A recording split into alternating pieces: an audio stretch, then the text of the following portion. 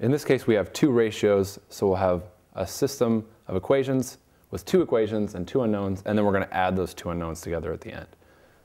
So we have the ratio x to 400, can be written as a fraction like this, is equal to the ratio of 3 to 5. So now we can solve for x. Multiply both sides by 400, x equals 1200 over 5, which gives us x is equal to 240. We can do the same thing for the relationship with y. We have 400 to y is equal to 2 to 3.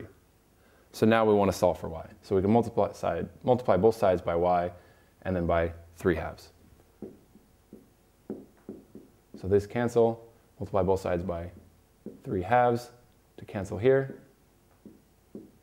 So now we just have y is equal to 3 halves times 400. And 3 halves times 400 gives us 600. And now we just want to find the sum of x plus y.